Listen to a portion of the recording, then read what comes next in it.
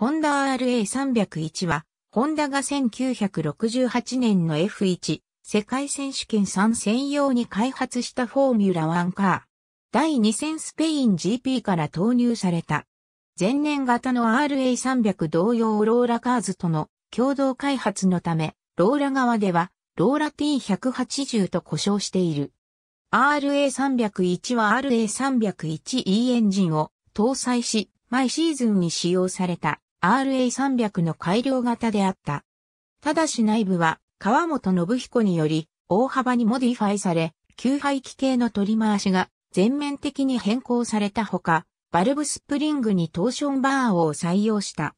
ホンダが空冷エンジンを搭載する RA302 の開発に焦点を合わせると、RA301 の開発は停滞することとなった。サーティースの結果は、ポールポジション1回、決勝最高は2位であった。信頼性に欠けたマシンはそのほとんどがリタイアとなり、サーティースの完走は3度にとどまった。シーズン途中のイギリス GP からは、ハイマウント式のリアウィングを装備した。RA301 は、フランス GP で RA302 に変えられる予定であったが、現場のレース監督であった中村義雄は安全性の問題から RA302 を走らせることを拒否。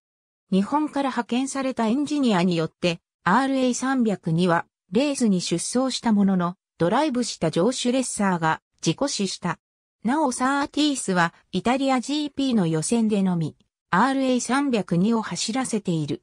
RA301 は1968年シーズン末まで使用された。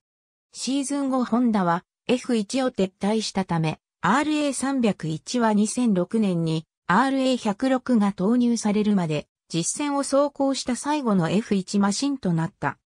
また、シーズン終了後、中村の独断で最終戦が行われたメキシコから直接アメリカに運ばれ、インディアナポリスモータースピードウェイで11月21日と22日にロニー・バックナムの運転によりテスト走行を行っている。